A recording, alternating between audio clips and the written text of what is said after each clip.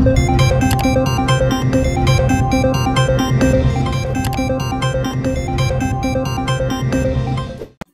మహమ్మారి హత్యాయత్నాలకు కూడా కారణమవుతుంది. వైరస్ సోకితేనే కాదు. కట్టడికి చర్యలు తీసుకోవాలని చెప్పినా వారిని సైతం ఆసుపత్రి పాలు చేస్తుంది.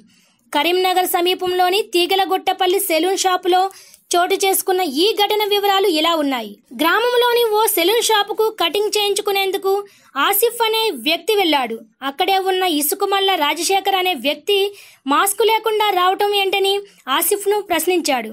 మాస్క్ లేకుంటే నాకే ఇబ్బందని నీకేమవుతుందని ఎదురు ప్రశ్నించాడు ఆసిఫ్. కట్టడి కోసం చర్యలు తీసుకోకుంటే వ్యాధి మరింత తీవ్ర రూపం దాలుస్తుందని రాజశేఖర్ వివరించాడు. ఇలా ఈ ఇద్దరి మధ్య మాటామాటా పెరగడంతో ఆసిఫ్ బయటకు వెళ్ళి వచ్చి రాజశేఖర్పై కత్తితో దాడి చేశాడు. సమాచారం అందుకున్న Karimnagar rural ACP Vijayasarathi CI Thula Srinivas ఘటనా స్థలానికి చేరుకుని నిందితుడిని అదుపులోకి తీసుకున్నారు.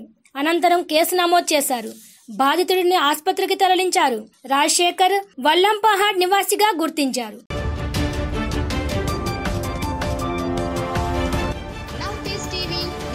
నిర్భయంగా.